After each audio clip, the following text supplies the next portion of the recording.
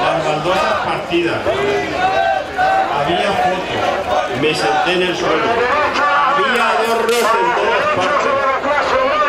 La solución para todos los procesados en el 14M, 14M, ¡Al solución! 14M, ¡Al solución! 14M, ¡Al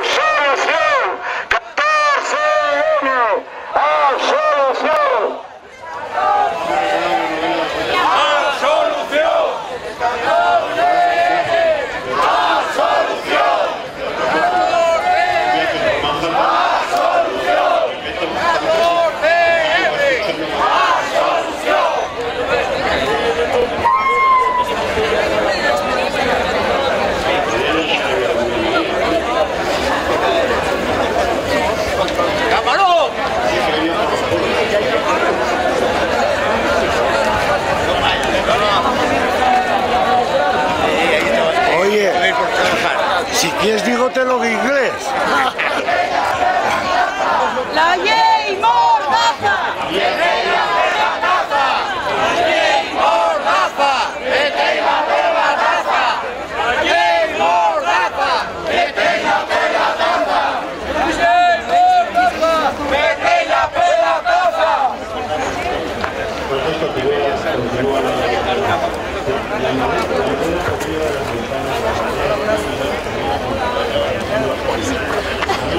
初めてでしょ。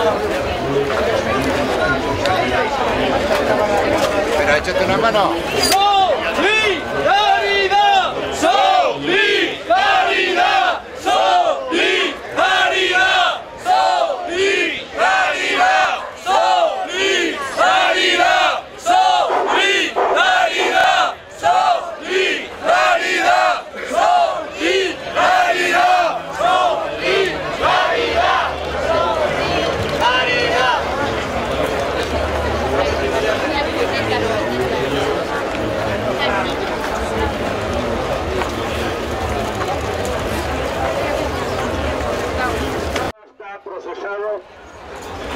Haber participado en el piquete informativo de, del 14N. Ahí, ahí en esa calle también fue donde se, pro- se produjo la carga de la, de la policía y después en la segunda foto que están poniendo ahora es otra cosa de las que denunciamos y es la carga, la entrada ilegal de los antidisturbios en la casa sindical. Ahí es donde se ve que entran dentro cargando a la gente y donde dejaron a muchas personas con heridas, algunas que re- requirieron después de intervención quirúrgica.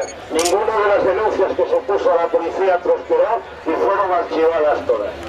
Sin embargo, ahora seis personas se enfrentan a una petición conjunta de 12 años por participar en los piquetes informativos de la huelga general del 14N y luchar por los derechos más básicos de cualquier persona que eran por los que se luchaba en aquella huelga, por el trabajo, por los alimentos, por la educación de nuestros hijos y hijas, por la sanidad, por los servicios sociales, en resumidas cuentas, por llevar una vida digna.